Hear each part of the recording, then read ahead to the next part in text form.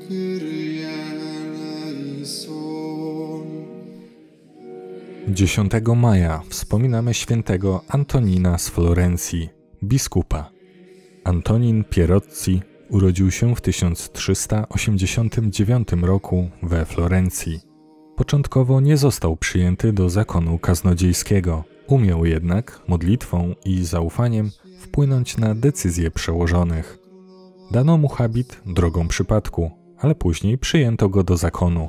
Na kapłana został wyświęcony w 1413 roku. Całym życiem dowiódł, że w delikatnym ciele może mieszkać wielki duch.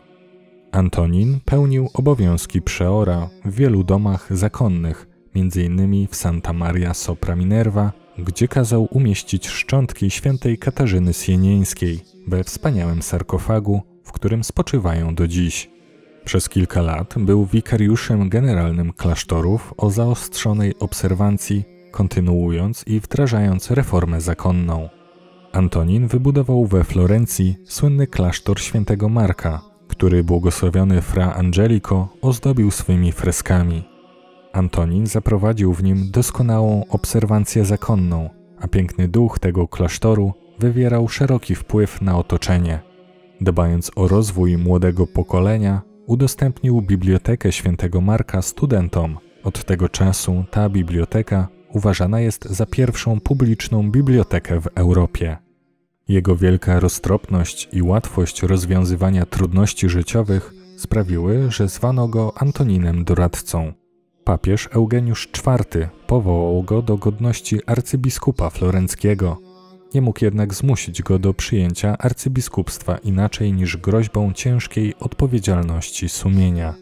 Antonin stał się wówczas wzorem odpowiedzialności biskupa. Bulla kanonizacyjna stwierdza, że nie da się opisać, jak dalece był doskonały w roztropności, pobożności, miłosierdziu, słodyczy i żarliwości kapłańskiej. Tak miłował życie klasztorne, że będąc biskupem, zawsze zachowywał w kieszeni klucz od swej opuszczonej celi zakonnej na pamiątkę i w nadziei powrotu. Antonin jest autorem wielu dzieł z zakresu prawa kanonicznego oraz teologii ascetycznej i moralnej, z których najbardziej znana jest Summa di Morale. Jest bardzo zasłużony dla trzeciego zakonu dominikańskiego, o który miał wielkie staranie, troszcząc się o powołania i jego rozwój. Antonin zmarł 2 maja 1459 roku w wigilię uroczystości w niebowstąpienia. Ponieważ papież Pius II pragnął osobiście przewodniczyć egzekwiom, uroczystości pogrzebowe odroczono o 8 dni. W tym czasie ciało świętego nie tylko zachowało świeżość, ale wydzielało również piękny, intensywny zapach. Do dziś spoczywa ono nienaruszone w dominikańskim kościele świętego Marka we Florencji. Na obrazach Antonin przedstawiany jest w szatach biskupich i z pastorałem.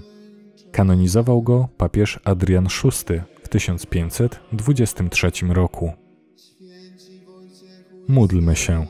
Boże, Ty włączyłeś do grona świętych pasterzy świętego Antonina, odznaczającego się wiarą, która zwycięża świat i gorącą miłością ku Tobie. Spraw za jego wstawiennictwem, abyśmy trwając w wierze i miłości zasłużyli na udział w Jego chwale.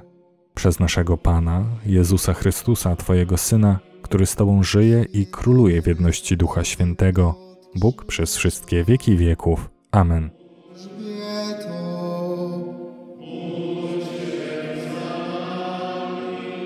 Wszyscy święci, święte Boże.